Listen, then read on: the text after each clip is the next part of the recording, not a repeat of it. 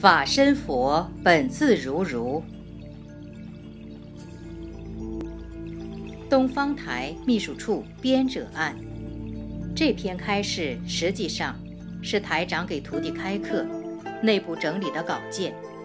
因为卢台长在讲这一个话题的时候，有一些问题是对内部讲的，并不想对外，所以我们在整理完之后，给卢台长审稿的时候。卢台长慈悲众生，说：“还是给大家看看吧，让所有学佛的人都能够理解。如果小房子不好好念，是什么后果？希望以此文章能够让大家更加明理，更加珍惜我们敬爱的卢台长。在此，可注销原稿，以供大家学习。现在地府的情况有一些变化。”很多人念小房子，只要是烧掉的，如果你没有好好念，已经开始都加罪了。这个不是跟你们开玩笑的。如果你马马虎虎乱念烧下去，第一骗鬼，第二骗管鬼的地府里的神，第三骗活着的人，第四骗天上的菩萨，因为经文是来自于菩萨的。你们想想看，罪孽大不大？如果谁不好好念小房子，随随便便烧掉，师傅告诉你们，就是犯罪了。如果不好好念，尤其是助念团的，师傅告诉你，人就像一个活鬼，因为下面任何一个鬼可以找他。为什么？因为他犯罪了。他虽然在阳间没犯罪。但是他犯的是阴间里的罪，又犯了天条，这是大事情，不要开玩笑。谁再敢乱念小房子，就是自己跟自己过不去。师傅就不知道，以后他是否能够上天了。大家好好想一想。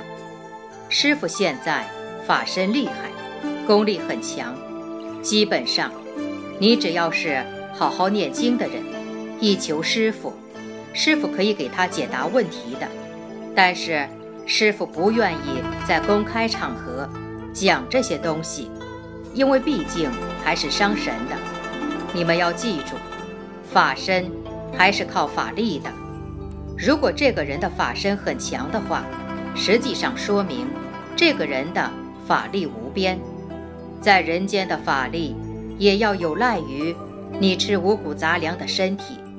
也是要身体好，师傅的身体很重要，因为身体越好，法力越大，就能救度更多的众生。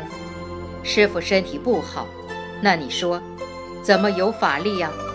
大家都在灵界里找师傅，但是，师傅本人的真灵，天上是有的，下面也有名字，但是真灵最多的灵，还是在人间。所以，希望你们要珍惜师傅，不要老让师傅生气，把师傅当做什么都不知道、什么也看不出来的人。实际上，他是最傻的人。所以，你们自己在学佛当中，还是在做傻人，还不如老老实实的说话做事，不要去隐瞒，不要去骗人。你们徒弟也是这样。本来想隐瞒一下，不要让师傅生气，可是你被师傅看出来之后，师傅还是生气，所以做人还是要实实在在。今天给大家讲，法身要如如不动。法身是什么？就是我们现在这个身体。我们在法界，法身要如如不动，就是不要动。就是如来如去，就是说，我的身体跟来的时候一样，去的时候也是这样。实际上讲的是人身体上的灵性，灵性来到这个身体上，过去是什么样，等走的时候还是什么样，那就是一个好人啊。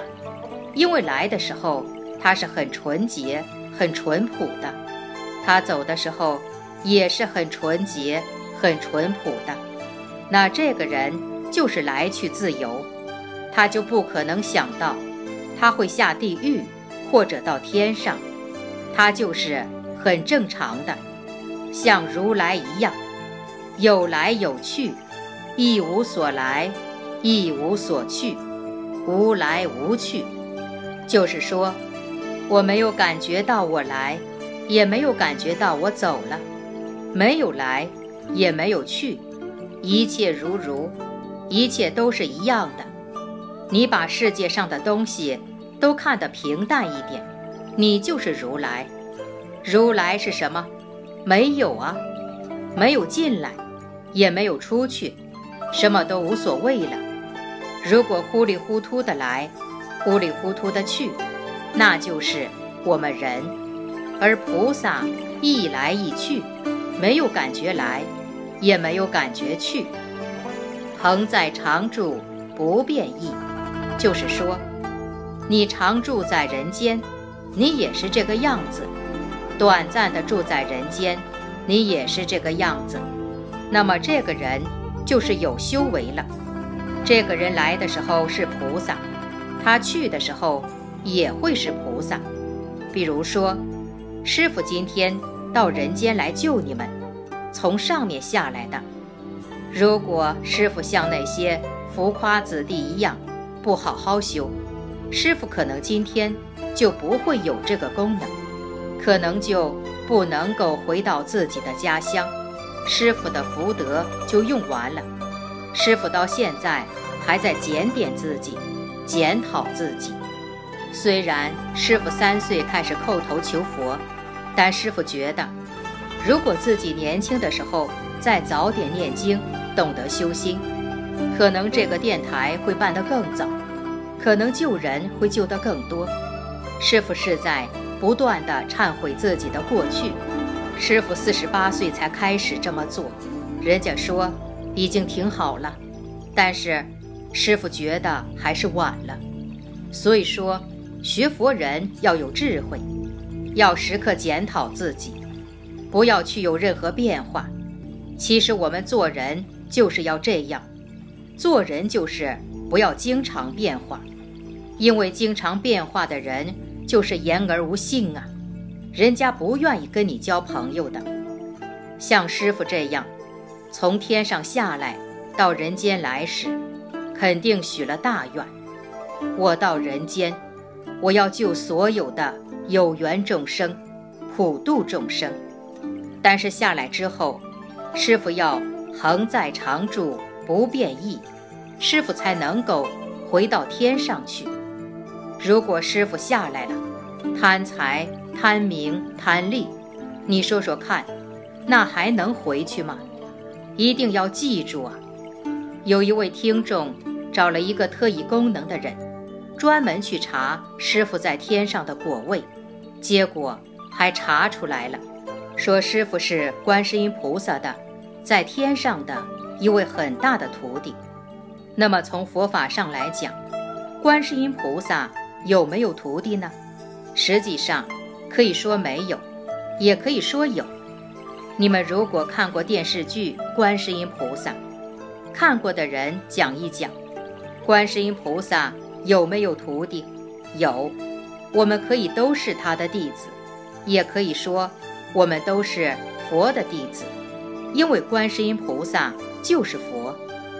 凡是成愿再来的大菩萨，要看他的行为，看他天天是不是在往上，他救的人是不是越来越多，他的法是不是越来越明亮，接受的人是不是越来越多，是不是效果越来越好。有这几点，其他的。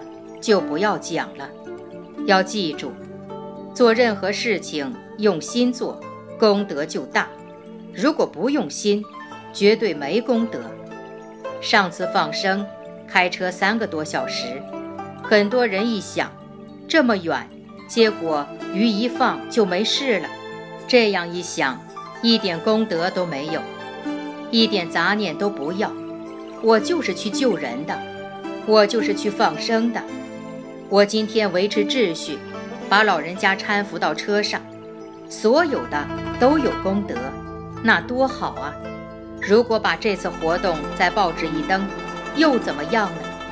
师傅把总理的信拿在手上，如果总理下来了，废纸一张，又怎么样呢？名利在晃眼之间，怎么留得住啊？我们天天活在这个世界上，都不知道岁月催人老啊！看看镜子。能让自己永远不生皱纹吗？你的年龄能够永远这样吗？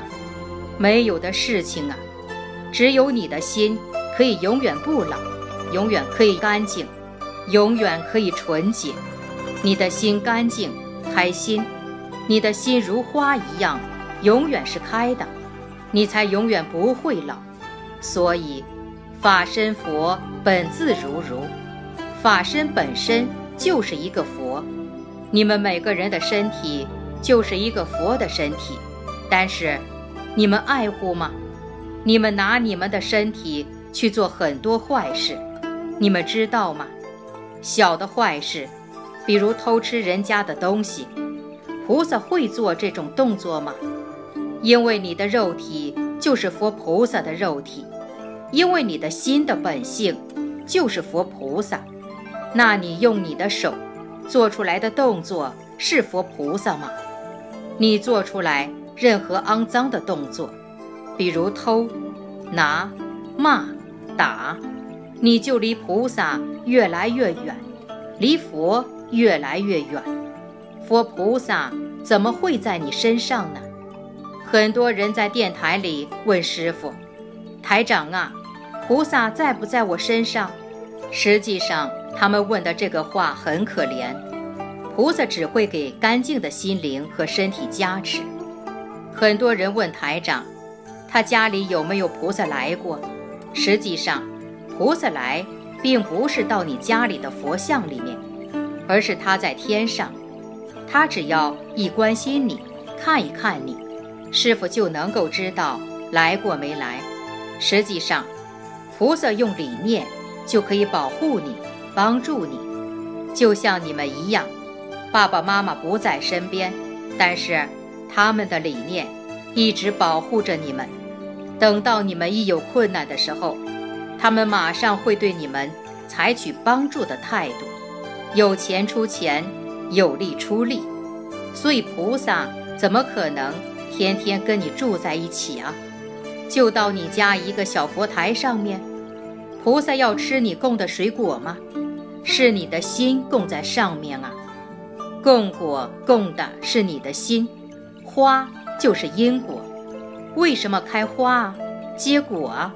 因为你种出去好的东西，你的花会越开越盛。如果家里气场好的话，铁树都会开花。家里倒霉的人，再好的花全部谢掉。花植物也有生命啊。要好好的想一想，人种的任何因，都会有果的。你们徒弟要是想骗菩萨，或者骗师傅，以后一定会有果的。就连你自己家里的人，你种下这个不好的因，你也一定会有果的。你们要智德圆满。一个人单单有智慧，没有道德，这个不叫圆满。有些人有德，狂做功德，但是不开智慧，也算圆满吗？智慧和德都要圆满。你看看，我们小时候叫德智体三方面全面发展，当时对德智体不能用佛法理解的这么深。其实智不是智商、机智，以为德是要有道德、职业道德。其实学佛后可以知道，周遍法界，要用你的智慧和你的德性的圆满来遍布法界，要超思量，就是说，你要超过你的智慧的分量。比如说，我们平时看一件事情，哇，店面八点钟就开了，这是平时的思量。如果你超思量的话，这个店主八点钟会不会迟到啊？万一迟到了，今天有嘉宾来，怎么办呢？我应该去把钥匙拿过来，或者跟他打个电话，让他明天准时过来。那你的这个智慧，就超过了你原来思维的量度了，要超思量，但不是要你们用在人间赚钱上，而是要你们用在救人、渡人、变法界。